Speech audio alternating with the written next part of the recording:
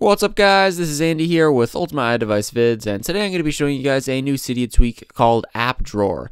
This is available for $1.99, and what this tweak does is it basically adds the Android-style app launcher to iOS. As you can see down at the bottom of my screen, I have an icon titled apps and basically if I tap on this it's going to bring up this little drawer which is very similar to the Android drawer in which all the apps are stored. Of course you could launch applications just like this from this drawer. There's also a favorite section that you could configure your favorite applications to show up so you could quickly launch them. If you guys head over to the settings application you have various options to configure. The first option being the ability to hide certain applications from showing up in the app drawer settings. You could just toggle on which apps you want to be hidden.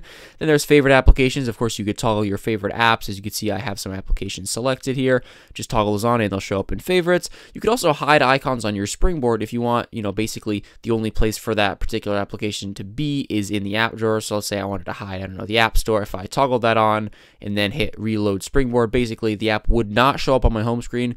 And the only way that I could access it would be through the drawer. Now this tweak is definitely similar to another tweak that I recently covered on this channel called Fern. And basically what differentiates these two tweaks is the fact that this tweak does not use Activator.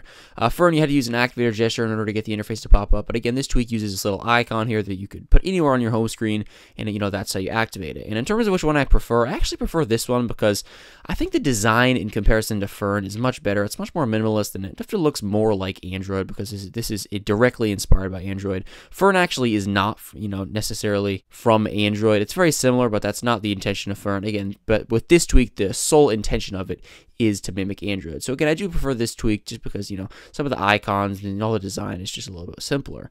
But yeah, guys, that's pretty much all for this tweak. Once again, it's called App Drawer. You could grab it for $1.99. So if you guys enjoyed this video, make sure to give it a like and subscribe to this channel for many more videos on Cydia tweaks, everything jailbreak, everything iOS, everything iDevice.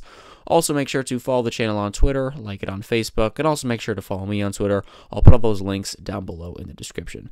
Thanks a lot for watching, guys. Peace.